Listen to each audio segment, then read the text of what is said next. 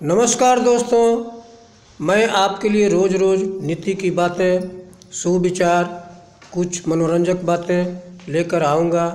कृपया मेरा वीडियो देखें और प्रेरित होकर दोस्तों लाइक करें सब्सक्राइब करें।